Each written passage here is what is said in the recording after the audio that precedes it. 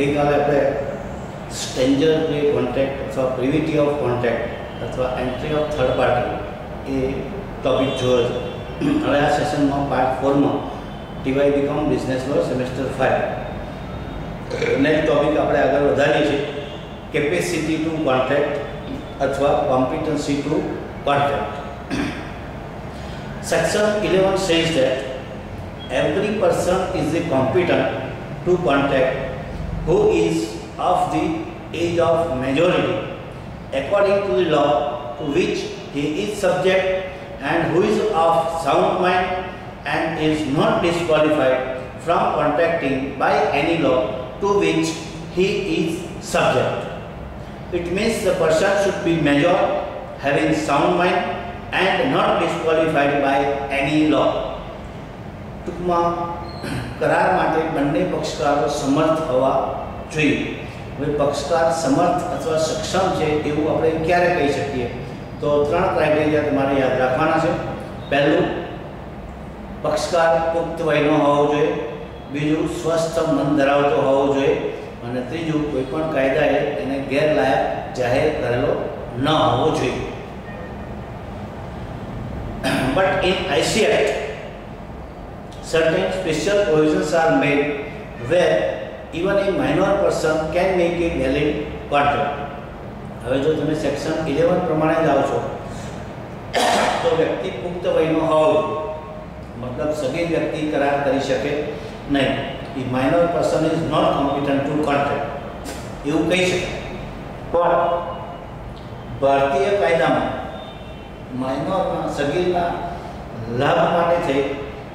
અને કેટલીક specific provisions કરેલી છે જ્યાં માઇનોર પણ વેલિડ કોન્ટ્રાક્ટ કરી શકે છે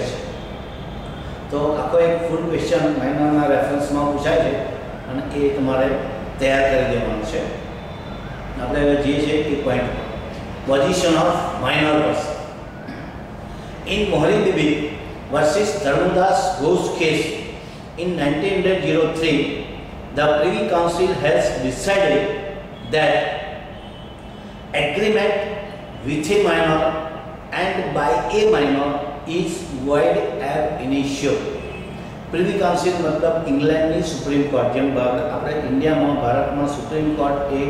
સર્વોચ્ચ, સર્વોપરી સ્થાન ધરાવે છે, એની ઉપર કોઈ ઓથોરિટી નથી. એમ ઇંગ્લેન્ડની પ્રિવી કાઉન્સિલ એટલે ત્યાંની સુપ્રીમ કોર્ટ ઓગણીસો ત્રણનો કેસ છે મોરી બીબી વર્સિસ ધર્મદાસ. એમાં એવું ઠરાવેલું કે ભાઈ સગીરે કરેલા કરારો અને સગીર સાથે કરેલા કરારો શરૂઆતથી જ રદ બાતલ ગણાશે. વોઇડ મતલબ રદ બાતલ અને એબ ઇનિશિયો મતલબ શરૂઆતથી જ, પ્રારંભથી જ. This rule is accepted in India also but not strictly હવે આ નિયમ ભારતમાં પણ આપણે અમલમાં લાવેલા છે, પણ ચુસ્ત રીતે નહીં. Certain provisions are made for the benefit of minor person કેટલીક જોગવાઈઓ છે કે જ્યાં સગીરને લાભ થતો હોય ત્યાં કાયદાએ એને છૂટછાટ આપેલી છે તો એ મુજબ even minor person can make valid contract and enforce it in his favour એ એની તરફેણમાં લાભ થતો હોય તો એ કાયદાનો અથવા કરારનો અમલ પણ કરાવી શકે છે તો પહેલો પોઈન્ટ આપણે જોયો agreement with a minor and by a minor is void ab initio સગીરે કરેલા કરાર અથવા સગીર સાથે કરેલા કરાર શરૂઆતથી જ રદ બાતલ ગણાશે આ પહેલો બેઝિક પ્રિન્સિપલ નિયમ છે સેકન્ડ છે minor person may become promising or beneficiary he cannot become promiser but in his interest he may become promising or beneficiary મતલબ કે સગીર વ્યક્તિ વચન આપનાર વચનદાતા બની શકતો નથી પણ વચન લેનાર અથવા લાભ લેનાર બની શકે જે કરારમાં સગીરને લાભ મળતો હોય ત્યાં એ વચન લેનાર પક્ષકાર તરીકે કાયદેસરના કરારમાં જોડાઈ શકે પાર્ટી તરીકે એ જોઈન્ટ થઈ શકે ત્યાર પછી છે a minor always plead minority minority મતલબ સગીરાવસ્થા એ હંમેશા સગીરાવસ્થાનો બચાવ ડિફેન્સ માગી શકે. Minor is not stopped from setting up the defense of his infancy law protects the minor from contracted liability. ટૂંકમાં કાયદો સગીર વ્યક્તિને બચાવ આપીને એના હિતોનું રક્ષણ કરે છે. In other words the principle of estoppel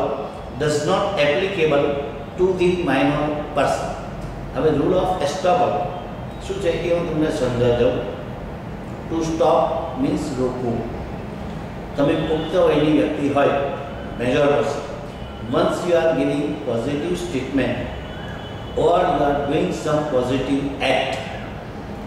afterwards you cannot give negative statement or you cannot do negative act law is prohibiting to you that is called rule of estoppel એક વખત તમે હકારાત્મક નિવેદન આપો અથવા હકારાત્મક કાર્ય કરો.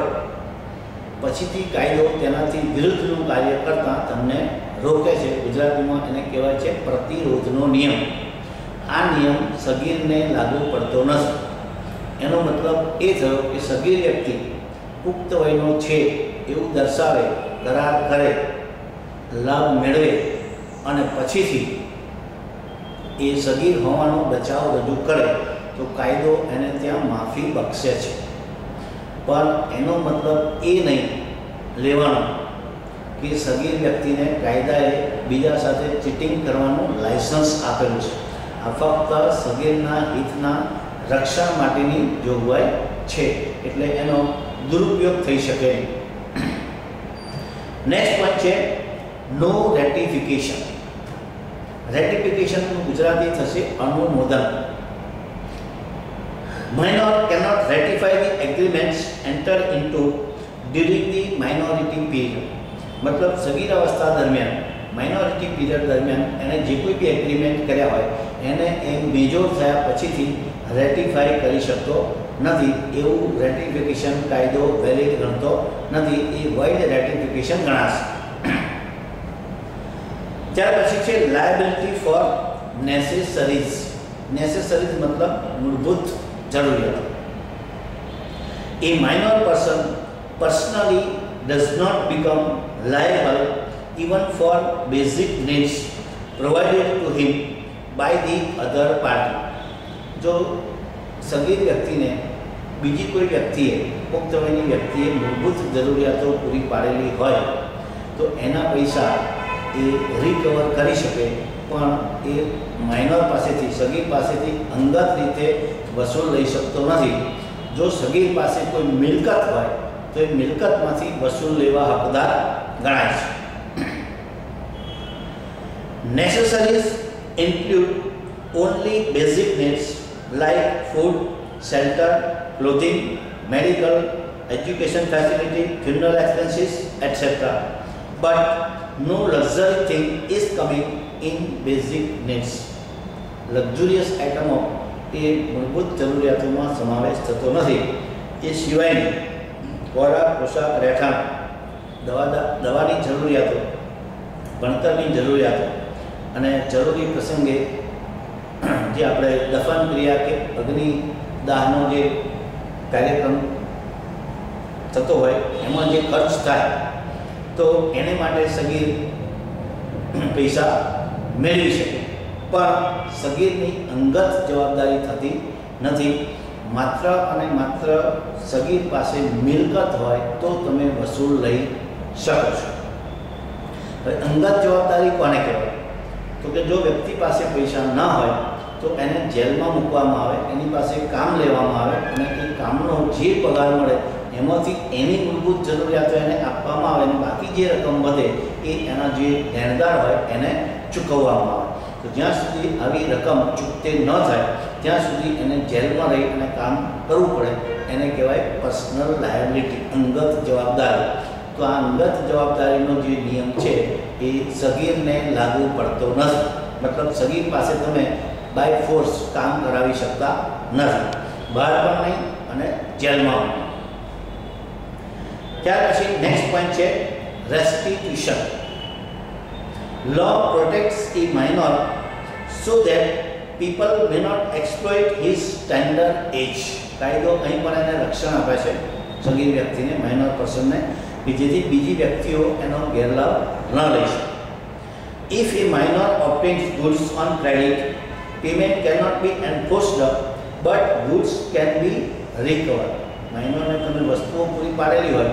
તો એ વસ્તુઓ તમે જો હયાતીમાં હોય તો પાછી મેળવી શકો પણ માઇનરે સપોઝ એનો ઉપયોગ કરી નાખ્યો હોય તો એ પૈસા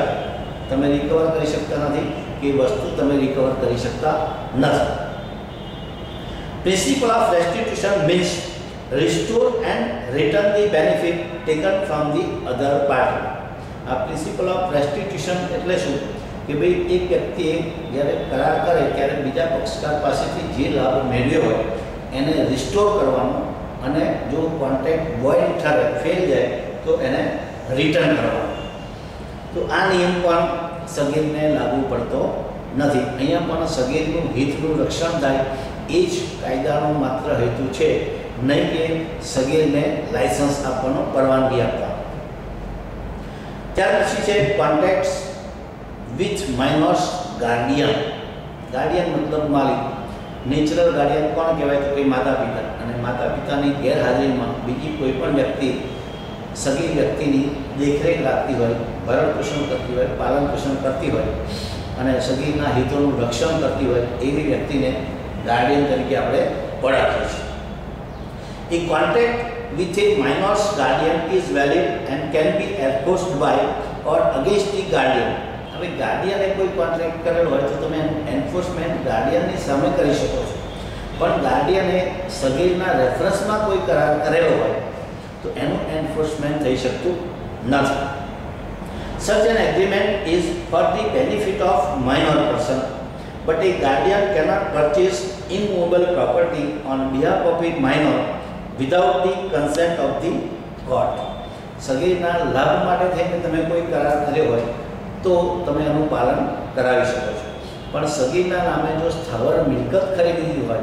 તો ત્યાં તમારે કોર્ટની પરમિશન કમ્પલસરી લેવી પડશે Next is the guardian is entitled to enter into that agreement, but a guardian is not permitted to enter into contract regarding services oblique employment for the minor and guardian cannot create any personal liability on the name of minor person. સગીર વ્યક્તિ વતીથી એનો વાલી કે એના માતા પિતા સગીરના સર્વિસના કોઈ contact કરી શકતા નથી અને સગીર સામે તમે એને માટે કોઈ હક દાવો પણ કરી શકતા નથી ટૂંકમાં સગીર ઉપર તમે ફોર્સફુલી કામ લઈ શકતા નથી અને એને કામ કરવાની ફરજ પાડી શકતા નથી ત્યાર પછી નેક્સ્ટ પોઈન્ટ છે minor as an agent a minor can not become principal principal માટે બે શબ્દો છે મુખ્ય કરતા અને પ્રધાન કરતા ગુજરાતીમાં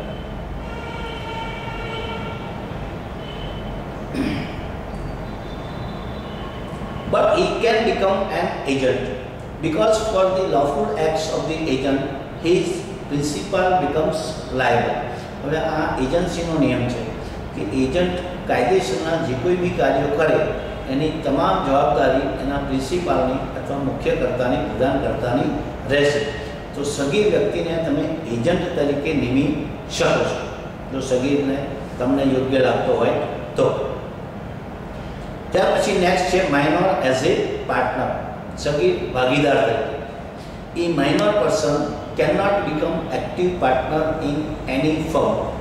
સગીર વ્યક્તિ કોઈ પણ ભાગીદારી પેઢીમાં સક્રિય ભાગીદાર બની શકતો નથી but his name can be enter into partnership for the benefit of minor after the consent of all other partners એનો મતલબ એ થયો કે ભાગીદારી પેઢી શરૂ હોવી જોઈએ બધા ભાગીદારોની સંમતિ હોવી જોઈએ અને તો તમે સગીર ભાગીદારને ફક્ત નફા માટે થઈ અને એનું નામ ભાગીદારી પેઢીમાં દાખલ કરી શકો છો ખોટ માટે સગીર ભાગીદાર જવાબદાર ગણાશે નહીં ત્યાર પછી નેક્સ્ટ છે surety for a minor person a person who gives surety on behalf of minor he becomes primarily liable for making payment minor cannot be sued સગીર વ્યક્તિ ઉપર તમે રકમ વસૂલ લેવા દાવો કરી શકતા નથી કોર્ટ એની પરમિશન આપતી નથી એટલે સગીરે કોઈ લોન લીધેલી હોય અને તમે જો એમાં જામીન રહ્યા હોય તો પુખ્ત વયની વ્યક્તિ જે છે જામીન તરીકે જોડાયેલી એની પ્રાથમિક જવાબદારી થશે ગૌણ જવાબદારી રહેશે નહીં ત્યાર પછી છે insolvency A minor cannot be declared as insolvent because he cannot be held personally liable even for necessaries supplied to him or his dependents. સગીર વ્યક્તિના નામ ઉપર કોઈ મિલકત જ ના હોય તો સગીર વ્યક્તિને તમે ભાગીદાર તરીકે માની લો કે જોડેલો હોય અને એ ભાગીદારી પેઢી નાદાર જાહેર થાય તો પુખ્ત વયના જેટલા ભાગીદારો છે એને તમે નાદાર જાહેર કરી શકો છો પરંતુ સગીરને કોઈ પણ સંજોગોમાં નાદાર જાહેર કરી શકાતો નથી ત્યાર પછી નેક્સ્ટ છે સેક્શન સિક્સટી ફોર અને sixty five do not apply to a minor person The minor cannot purchase the shares of the company and cannot become shareholder. Holder અને કંપની આ બેની વચ્ચે કોન્ટેક્ટ થતો હોય છે અને કરાર માટે સગી સંપૂર્ણપણે રદબાતલ કરાવેલો છે કરાર. એટલે સગી વ્યક્તિ શેર હોલ્ડર બની શકતો નથી. પણ શેર હોલ્ડર તરીકે પુખ્ત વયની વ્યક્તિ હોય એના ફાધર કે ગાર્ડિયન અને સપોઝ એ ગુજરી જાય તો વારસામાં સગીરને શેર મળી શકે. ત્યાર પછી છે એમ્પ્લોયમેન્ટ અથવા સર્વિસ એગ્રીમેન્ટ માઇનર વ્યક્તિ સર્વિસના એમ્પ્લોયમેન્ટના કરાર કરી શકતો નથી, કદાચ કરાર કરે તો તમે એનું લીગલ એન્ફોર્સમેન્ટ કરી શકતા નથી, મતલબ કાયદેસર તમે એને કામ કરવાની ફરજ પાડી શકતા નથી. અને છેલ્લું છે minor can execute a negotiable instrument દરેક નેગોશિયેબલ ઇન્સ્ટ્રુમેન્ટ મતલબ કાયદાએ ત્રણને નેગોશિયેબલ ઇન્સ્ટ્રુમેન્ટ તરીકે ગણેલા છે. પરક્રામ્ય લેખ જેને કહેવાય. એક પ્રોમિસરી નોટ વચન ચિઠ્ઠી, બીજું વિનો, વિનિમય પત્ર બિલ ઓફ એક્સચેન્જ અને ત્રીજું ચેક આ ત્રણમાંથી કોઈ પણ વસ્તુ સગીરના નામે હોય તો સગીર એને માટે હકદાઓ કરી શકે છે. અહીંયા આપણે અટક્યા હતા, હવે ગાડી આગળ દોડાડું છું. who is of sound mind આ સગીરનો એજનો પોઈન્ટ પૂરો થયો આ ફૂલ ક્વેશ્ચન એક તૈયાર કરી નાખજો હવે બીજો ક્વેશ્ચન છે સાઉન્ડ માઇન્ડ કે ભાઈ સ્વસ્થ મન કોને કહેવાય હવે મન અને મગજ આ બે વસ્તુમાં ડિફરન્સ છે મન છે એ ક્યાં છે એ આપણી બોડીમાં કોઈ હજી સુધી શોધી શક્યું નથી મગજ હંમેશા ખોપરીની નીચે છે એ સાયન્ટિસ્ટોએ શોધેલું છે A person is said to be of sound mind for the purpose of contract if at the time when he makes it he is capable of undertaking it and forming rational judgment as to its effects upon his interest જ્યારે સગીર વ્યક્તિ કોઈ પણ વ્યક્તિ કરાર કરે અને એ કરારની શું અસર એના પર થશે એનાથી એને લાભ થશે કે ગેરલાભ થશે આ વિચારવાને માટે જો એ વ્યક્તિ સક્ષમ હોય સમર્થ હોય તો એને આપણે સાઉન્ડ માઇન્ડની સ્વસ્થ મનની વ્યક્તિ કહી શકીએ if a person can think properly that what will be the possible result of his act then we can say that he is having sound mind તમે કોઈ પણ કાર્ય કરો અને એનું સંભવિત પરિણામ શું આવશે એ જો વિચારવાને માટે તમે સક્ષમ હોય તો એવું કહી શકાય કે ભાઈ એ વ્યક્તિ સ્વસ્થ મન ધરાવે છે if he is having no such capacity he is considered as unsound mind જો આ વિચારવાની શક્તિ વ્યક્તિનામાં ન હોય તો એ અસ્વસ્થ મનની વ્યક્તિ છે એવું કહેવાય હવે એના ત્રણ પ્રકાર પાડેલા છે પહેલો પોઈન્ટ છે idiots the person who has lost his mental capacity ever is called idiots the agreement with an idiot is absolutely void જન્મથી જ, શરૂઆતથી જે વ્યક્તિ આવું વિચારવા માટે સક્ષમ ન હોય, આપણે એને મૂર્ખ, મૂળ અથવા પાગલ કહીએ છીએ. તો પાગલ સાથે, મૂળ સાથે કરેલા કરારો શરૂઆતથી જ સંપૂર્ણપણે રદબાતલ ગણાય છે. સેકન્ડ પોઝિશન છે lunatic and insane person the person whose mental capacity is frequently changed is called lunatics મતલબ જે વ્યક્તિની સમજ શક્તિ છે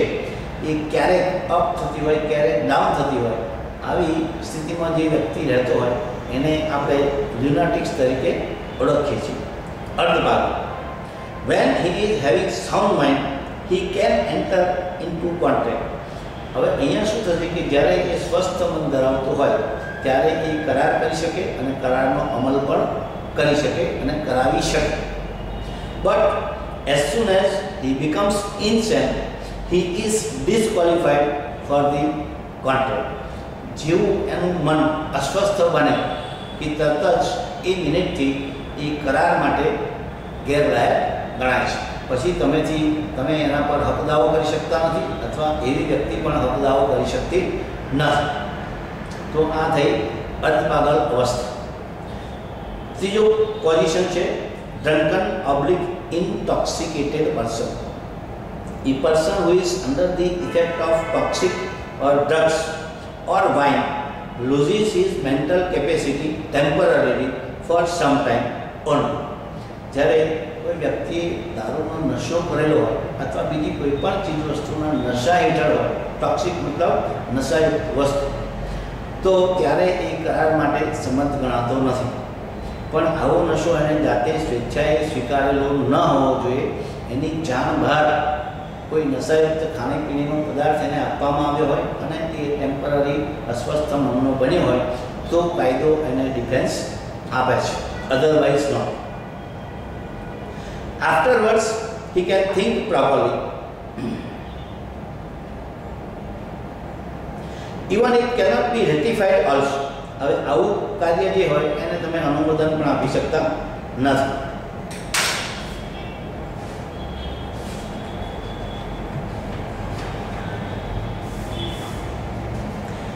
ત્યાર પછી નેક્સ્ટ પોઈન્ટ આવે છે ડિસ્ક્વોલિફાઈડ પર્સન્સ કાયદાએ ઓલરેડી કોન્ટ્રાક્ટ એક્ટમાં જ કેટલીક વ્યક્તિઓને ડિસ્ક્વોલિફાઈડ ડિક્લેર કરેલી છે. મતલબ રદબાતલ ગણેલી છે. તો એવી વ્યક્તિઓ જેને ગેરલાયક ઠરાવેલી છે, જાહેર કરેલી છે,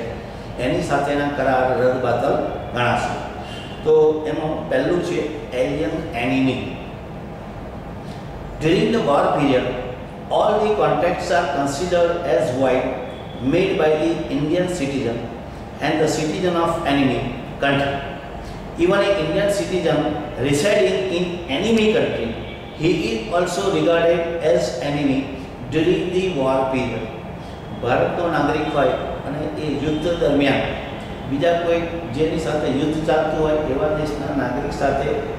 કરારો કરેલા હોય તો એ સંપૂર્ણપણે રદબાતલ ગણાશે અને ચાલુ યુદ્ધ દરમિયાન તો કોઈ કરારની છૂટ કાયદો આપતો જ નથી ઇવન ઇન્ડિયન સિટીઝન હોય ભારતનો નાગરિક હોય અને એ પરદેશમાં રહેતો હોય અને એની સાથે કરારો થયેલા હોય પરંતુ જો યુદ્ધ શરૂ થાય તો તરત જ બધા કરારો રદબાતલ ગણાશે નેક્સ્ટ છે foreign sovereigns and ambassadors ambassadors consular or diplomatic representatives enjoy certain immunities and privileges. વિદેશની જે વ્યક્તિ ભારતમાં હોય અને એ રાજદૂત તરીકે ત્યાંની સરકાર તરફથી જ્યારે એની એપોઇન્ટમેન્ટ કરેલી હોય, તો આવી જે વ્યક્તિઓ હોય કાઉન્સેલરો હોય કોન્સ્યુલેટર હોય એમ્બેસેડર હોય, તો આ બધી વ્યક્તિઓને કેટલાક વિશેષ અધિકારો મળે છે. They are considered as guest of India એ ભારતમાં મહેમાન તરીકે આવે છે અને મહેમાન તરીકે આપણે એની ટ્રીટમેન્ટ કરવાની હોય છે. they cannot be sued in Indian courts ભારતીય અદાલતમાં એમની સામે તમે દાવો દાખલ કરી શકતા નથી સિવાય કે સેન્ટ્રલ ગવર્મેન્ટ તમને પરમિશન આપે હવે સેન્ટ્રલ ગવર્મેન્ટને પછી ત્યાંના કન્ટ્રીની પરમિશન લેવી હોય તે can however sue and enforce the contacts on Indian courts હવે એ લોકો સાથે માનેલો કોઈ કરાર કર્યો હોય અને તમે છેતરપિંડી કરી હોય તો તમારી સામે એક ભારતની અદાલતમાં દાવો દાખલ કરી શકે પૈસા રિકવર કરી શકે મતલબ એક સાઈડ સ્ટોપેશન છે અને એક સાઈડ છૂટછાટ છે so it is advisable not to make any contact with such persons હવે હિતાવહ શું છે યોગ્ય શું છે કે ભાઈ આપણે આવી વ્યક્તિઓ સાથે કરાર ન કરવા જોઈએ કારણ કે આપણે એની સામે કોઈ દાવો કે ફરિયાદ કરી શકતા નથી જ્યારે એ આપણી સામે દાવો ફરિયાદ ભારતની અદાલતમાં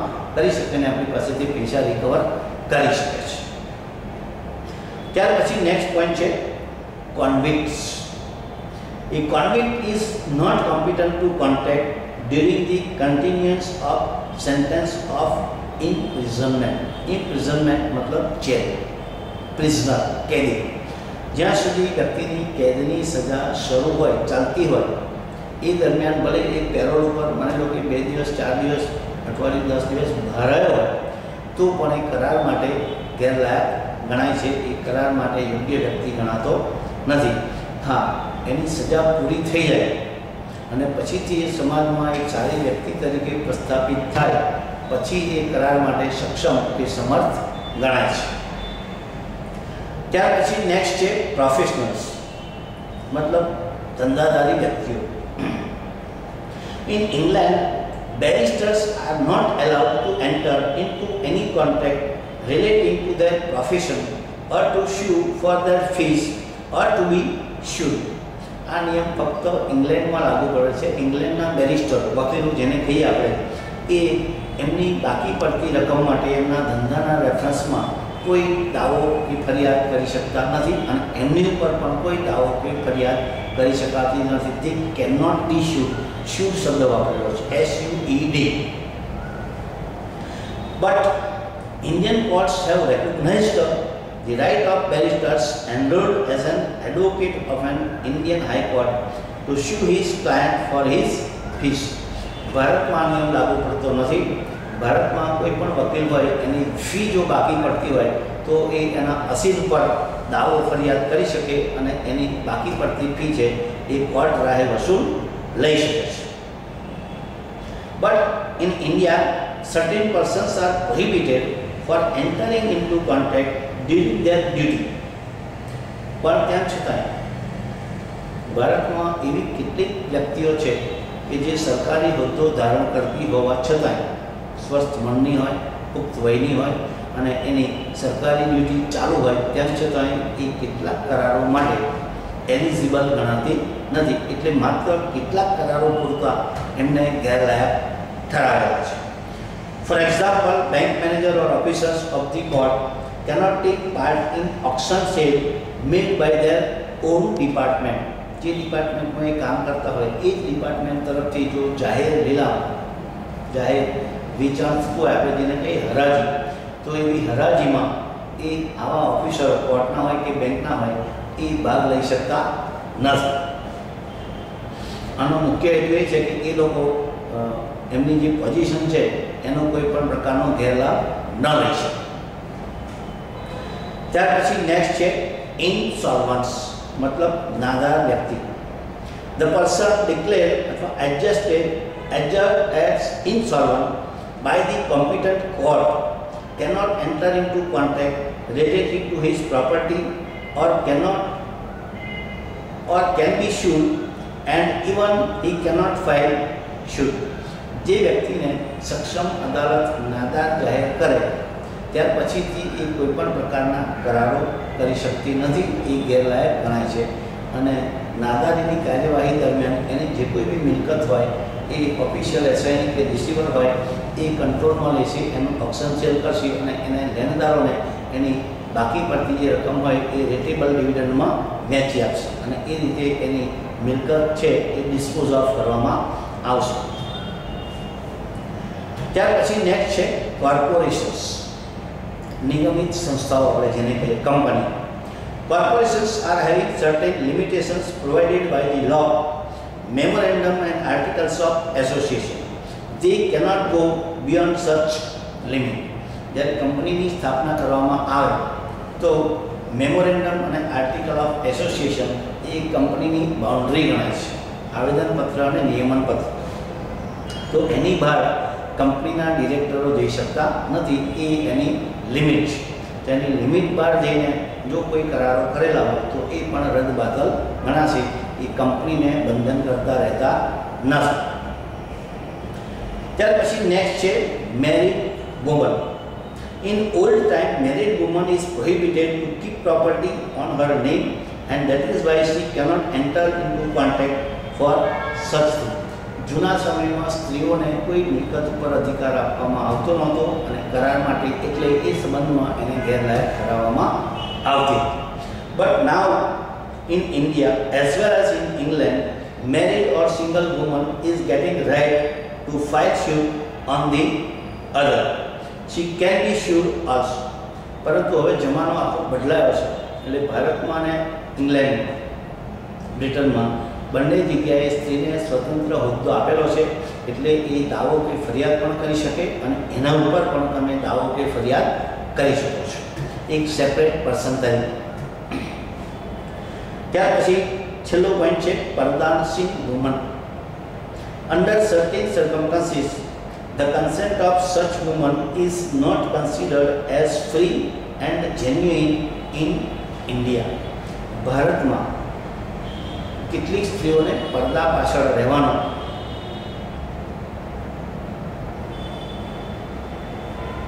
ફોર્સ બળજબરી કરવામાં આવતી હોય છે તો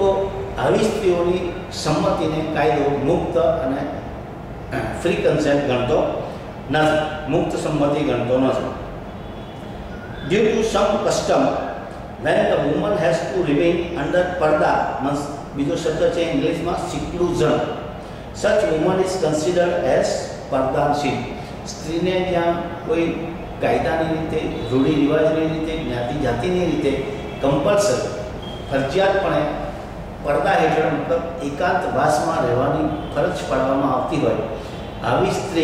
સ્ત્રીની સંમતિ કાયદો મુક્ત ગણતો નથી અને આવી સ્ત્રી સાથે તમે કરારો કરી શકતા નથી. કદાચ કોઈ સંજોગોમાં કરાર કર્યો હોય તો એ સ્ત્રીની ખરેખર મુક્ત સંમતિ છે એ સાબિત કરવાનો બોજો કાયદો સામેના પક્ષકાર ઉપર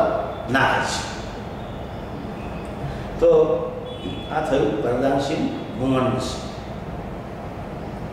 અત્યારે મુસલમાનોમાં તમે જુઓ ઘણી બધી સ્ત્રીઓ પડદા હેઠળ બુરખા હેઠળ રહેતી હોય છે. પહેલાં રાજપૂત સમાજમાં પણ આ પ્રથા ચાલી આવતી હતી.